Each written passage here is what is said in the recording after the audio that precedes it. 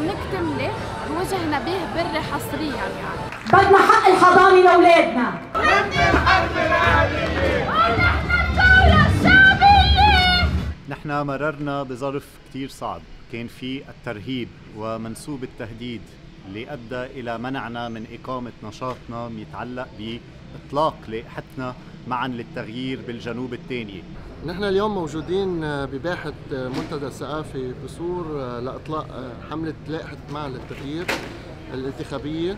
وطبعا هذا يعني نحن أجلنا أسبوع بعد اللي صار معنا أول مرة بالسرفند اللي صار بالسرفند بهداك الأسبوع فجأة بيعتبرونا شبيحة حركة أمل. آه، زعران حركه امل بالعصي بالحجر حتى كان معهم سلاح انرفع السلاح علينا. نحن كنا مرئين ما حكينا حتى يعني حرف من الناء ما طلع. بنأكد للكل إنه معركتنا مكملة ب 15 أيار بالانتخابات وبالتصويت وبعد 16 أيار بالتأكيد آه، معركتنا متواصلة ضد هيدا النظام وهيدي المنظومة. لأنه ولا قاضي ولا مفتي كان يفتح لنا ابوابه ويسمع لنا وإذا شي مرة كان ينحرج على الإعلام ويطلع ليسمعنا بحط الملف بالجارور لأنه عارف حاله.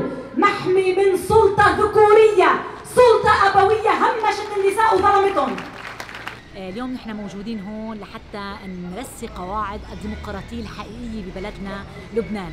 من صور لكل لبنان عم نطلق لايحتنا معا للتغيير. هيدي اللايحة اللي هي عم تعبر عن وجع كل لبناني وجع كل جنوبي. نحن هون اليوم عم نوجه ضربة قاسية للمنظومة الفاسدة وعم نقول لهم ما فيكم تقمعوا صوتنا. صوت التغيير جاي وما رح فيكم ابدا تقمعونا ورح فيكم ابدا تمنعوا موجة التغيير.